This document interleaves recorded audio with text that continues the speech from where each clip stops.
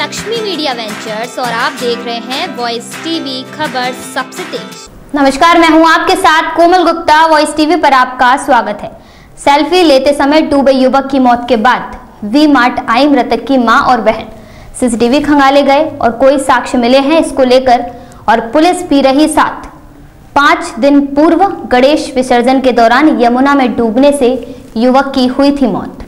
12 सितंबर 2019 को थाना दक्षिण क्षेत्र श्यामा देवी स्कूल के पास हिमायूपुर निवासी संदीप, पुत्र स्वराजेश, बीते दिन साथियों के साथ गणेश प्रतिमा विसर्जन के लिए इनोन पुल के पास गया था और इसी दौरान संदीप व उसके साथी पुल पार कर आगरा के थाना फतेहाबाद क्षेत्र की ओर बढ़ गए, जहाँ वह किसी तरह यमुना नदी में चला गया और डूब गया था, जिससे उसकी मौत हो गई थी।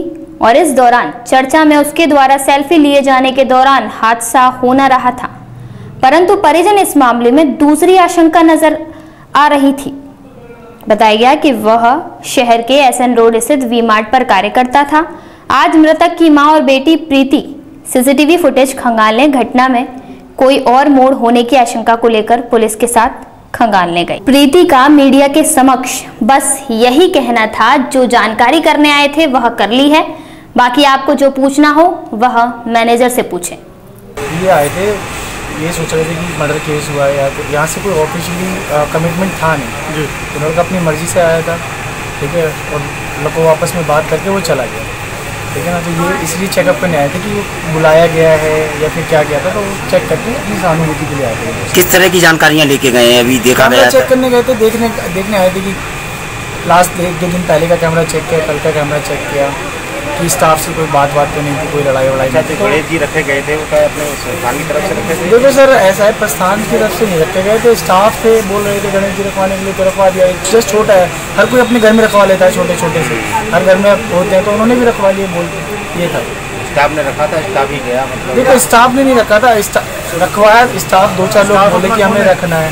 ठीक है तो हमने हमने रखवा लिया ठीक है जाने के लिए हमने किसी को नहीं बोला था। नॉर्मली ये कमिटमेंट था कि भैया बाहर से कोई जाएगा हम दे देंगे।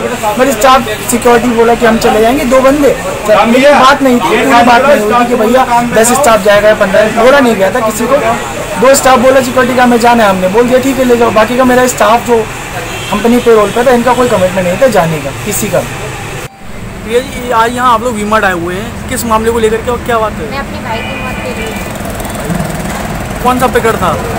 तो दो दिन पहले ही वो हाँ जो बारह तारीख को हुआ था गणेश विसर्जन में। क्या हुआ था? वो गणेश विसर्जन में गई हुई थी। मुझे नहीं मालूम क्या हुआ था साइड पे मैं नहीं थी। मेरी फैमिली में से कोई नहीं था। बस स्टाफ गया था उनका उन्हें मालूम आज वी में आना कैसे हुआ आपका? हमें सिर्फ़ जानकारी लेनी थी और कुछ नहीं। तो अच्छा ये बताइए आप वीमार्ट खुलता बारह बजे सुबह छः बजे बुलाया था आपने इन्होंने वीमार्ट वालों ने? क्या वजह थी सुबह छः बजे बुलाने की? गणेश विसर्जन के लिए वो स्टोर मैनेजर आपको बताएँगे जाके आप पूछिए जाके।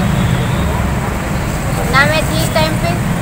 आपको पता करना है स्टोर मैनेजर से पूछिए जाके उन्होंने सुबह खोला है वो आए हुए थे। तुम्हारे भाई की डूबने से मौत हुई है या और कोई बात है? ये मुझे अभी कुछ नहीं पता।